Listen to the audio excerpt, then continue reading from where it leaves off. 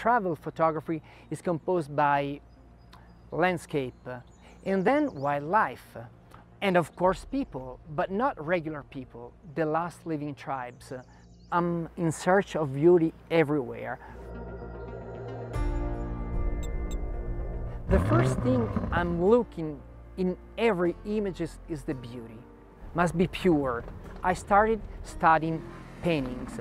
Since that moment, uh, I love studying the profile, the lines, the shapes.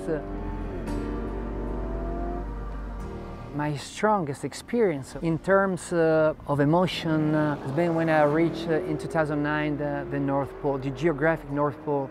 So I had to trek, well, to ski all the way, pulling a sled, and all of your life, all entire life is back of your shoulders. You live constantly 24 hours a day in the middle of nature, totally uh, out of uh, the full wilderness.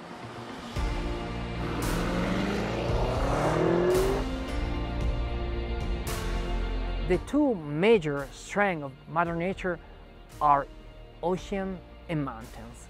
That's the reason why I consider Reinhold Messner a myth to me, because nobody on this planet ever hiked the 14 mountains over 8,000 meters without oxygen. He's the only one. The first sensation I had is uh, the way I feel like I had this car before.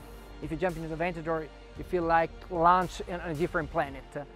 With the Urus, I felt at home, but, but you have uh, amazing performance. You know, you cannot realize how fast and powerful this kind of car can be until you don't really watch, you know, some numbers which are projecting on the screen too, on the windshield.